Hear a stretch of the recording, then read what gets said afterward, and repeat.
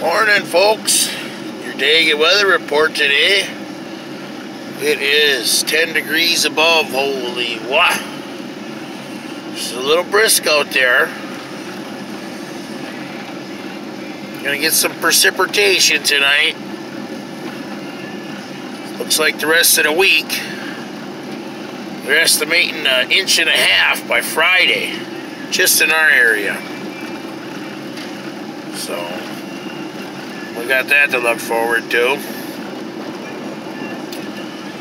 Uh, skies are clear. Maybe not. Oh yeah, I can see stars. I can see stars. Roads are clear. Should be a decent travel this morning.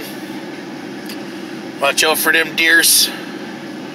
Honk your horn at them. Scare them. Get them off the road. But, uh, that's about it for this morning. Get them rain gauges out. Let's see how much rain we get. Yooper rain gauge. Five gallon bucket. That's it for now. In the 906, eh?